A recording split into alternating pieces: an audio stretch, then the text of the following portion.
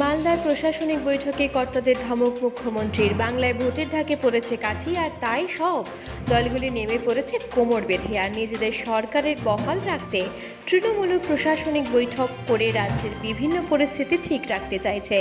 গতকাল মালদায় একটি প্রশাসনিক বৈঠক করলেন মুখ্যমন্ত্রী মমতা বন্দ্যোপাধ্যায়।